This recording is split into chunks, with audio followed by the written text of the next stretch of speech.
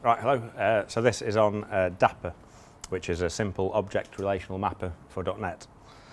Uh, so an object relational mapper, ORM, maps data in a database to objects in code. Um, the big one for .NET is Entity Framework, and, and now there's Entity Framework Core. Uh, other ones you might have used NHibernate, LINQ to SQL. Dapper does the same basic job as those, um, so it maps database data to objects, but uh, it's more lightweight. It has fewer features than the big ones. Uh, so this is this is Dapper on one slide.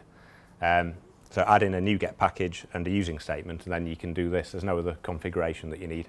So I'm using a, um, a sample database of music tracks, and this is the track table on the right.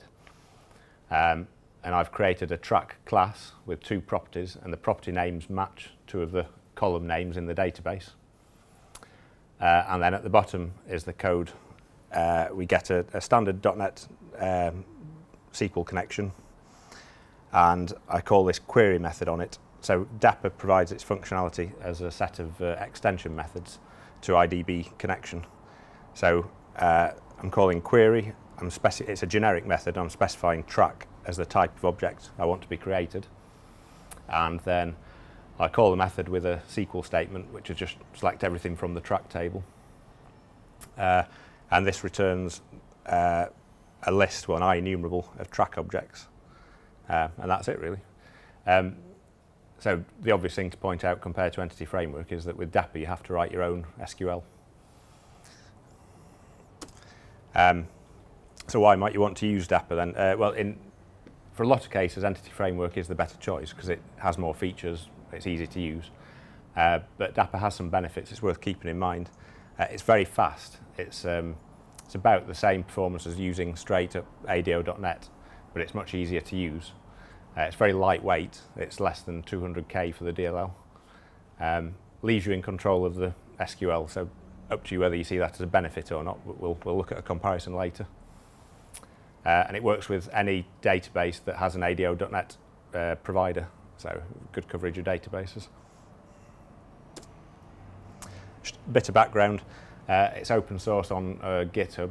It's been going about seven years. Um, it was created by someone at Stack Overflow, and it's still um, maintained by Stack Overflow and used in production there.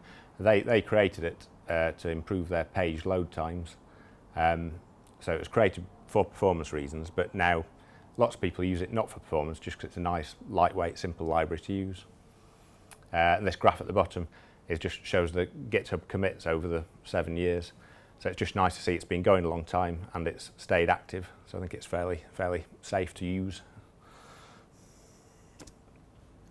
So onto a few demos. I'm not going to do any live coding, but I've got some examples. so I'm using LINQPad just because it's an easy way to run bits of C-sharp code and print out some variables. So this is um, similar to the slide I just showed you. So I'm using um, SQLite as my database. So here I'm creating an IDB connection. I've got my track object and at the top I'm calling a Dapper query method and getting everything back. So let's just run this. And you can see down here that uh, this is the, the first thousand objects in the output, all the tracks in the database. Um, the difference between this and the slide is that I'm using query async just to show that Dapper supports async. So uh, exactly the same, but you just because it's async, you have to await the result in order to get your list of tracks. Uh, next example. This one shows uh, how to parameterize a query. So um, if you're building up, if, if you need to use parameters, you should, you should always use parameters to build a SQL query. You should never concatenate strings, especially if it involves user input. That's a massive um, SQL injection risk.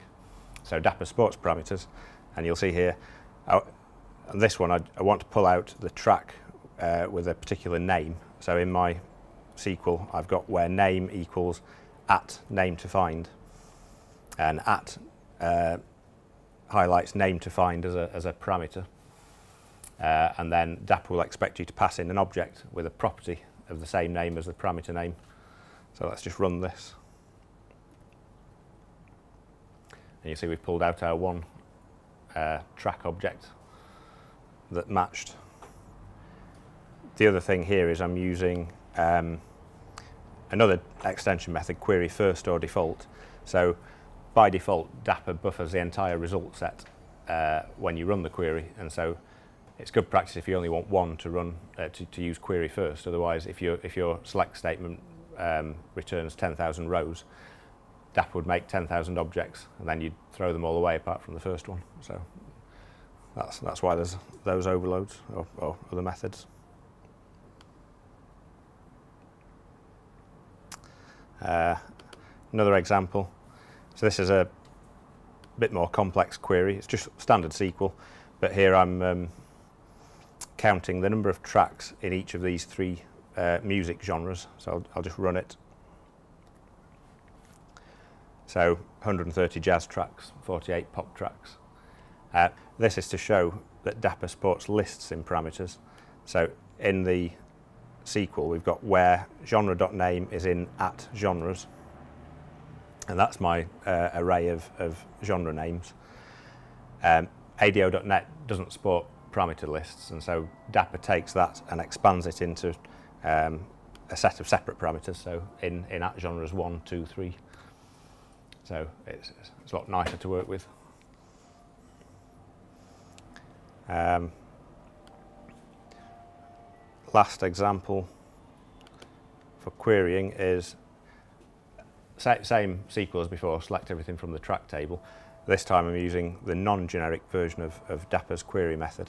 So if you don't specify the type of object that you want to get back, then Dapper will give you a, a list of dynamics. Um, this is quite a nice use of dynamics. So uh, with dynamic, you can call any property or method you want on it and you get no compile time checking. So here, uh, track.name matches a column name, so I actually get a value for this. This is the, uh, the first track name in that result set. But uh, track.not there doesn't match a column name, so it just returns null. Uh, this is a bit like JSON.NET does something similar to, to dot into um, JSON objects. And last on the demo is, so we've looked at lots of querying. You need to be able to run create uh, insert, update, delete operations. So for that, Dapper gives you an execute extension method. Uh, it's exactly the same pattern. So uh, normal SQL, insert into album, uh, and it uses parameters in the same way. So we pass in parameters as, as a separate object. Um, so if I just run these, uh, the return value in this case is just the number of rows that were affected by the execute.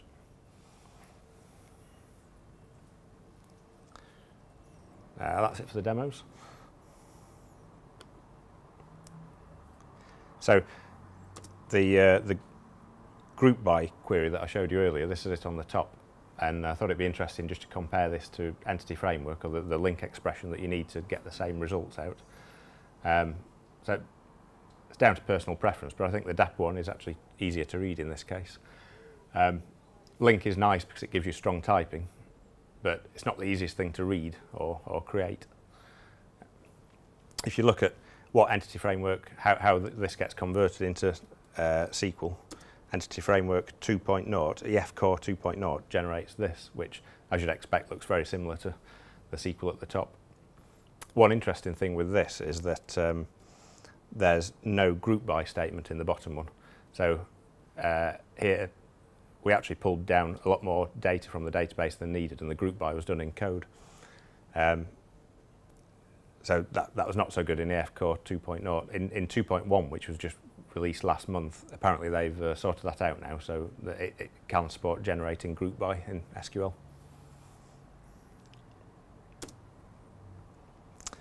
Um, so that was all the stuff that Dapper can do. This is all the stuff it doesn't do, that Entity Framework does. Um, so you don't get SQL generation, you don't get any change tracking of objects. Um, there's no database migrations or code generation from, from generating code from a database. If you do want some of this stuff, there are supplemental libraries that you can use to add it back in. Um, for SQL generation, there's dapper.contrib as, as an extra NuGet package you can add, and that does, do, does generate SQL for simple create, update, delete operations. Um, if you want database migrations, there are some, some standalone migration packages like dbup and uh, Fluent Migrator. Uh, but if you want all these things, then you're better off just using Entity Framework. Um, so yeah, Entity Framework probably still the most will still be the most used um, ORM, but Dapper is useful in certain cases. It's worth keeping in mind.